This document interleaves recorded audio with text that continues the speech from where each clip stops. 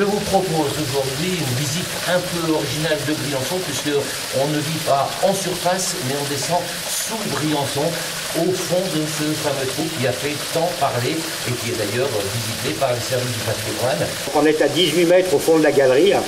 Il y a deux ans, une partie de cette galerie s'est effondrée, entraînant la création d'un trou sur le parking de la place Blanchard, un trou dans lequel sont tombés plusieurs véhicules. Une partie de la galerie donc s'est effondrée sur le haut et a causé des dégâts qui sont quand même euh, assez conséquents. Cette galerie achemine les eaux de la Gargouille et lui fait traverser le rempart. La Gargouille, c'est ce petit canal qui traverse la vieille ville de Briançon et qui servait à l'origine à la lutte contre les incendies. Bah, nous connaissions cette galerie car euh, régulièrement nous sommes amenés à la, déboucher, notamment l'hiver quand euh, la galerie sert en déversoir de neige.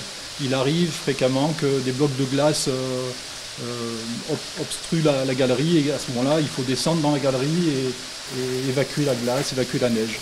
Mais avant de reboucher ce trou, il a d'abord fallu creuser un puits de 18 mètres de profondeur depuis la place Blanchard afin de réparer la galerie effondrée. Il a fallu creuser beaucoup plus profondément pour arriver donc en fait au fond de la galerie où euh, toutes ces eaux euh, se regroupent. Lors de l'effondrement, une partie du rempart qui est derrière moi a été emportée avec les matériaux et donc aujourd'hui il nous faut stabiliser l'intérieur de cette maçonnerie.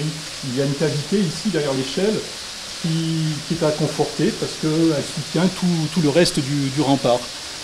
Donc là, nous nous trouvons à l'extérieur du rempart, au débouché de la galerie, euh, en direction du parc de la Chape. Ici, on retrouve un tuyau qui, durant deux ans, a servi à dévier l'eau de la gargouille et des eaux pluviales de la vieille ville du fait que la galerie était complètement obstruée par, les matériaux qui s'étaient effondrés. Les eaux de la gargouille, à partir d'ici, donc, cheminent à travers les parties amont du parc de la Chatte en direction de la Durance et elles sont évacuées à la rivière.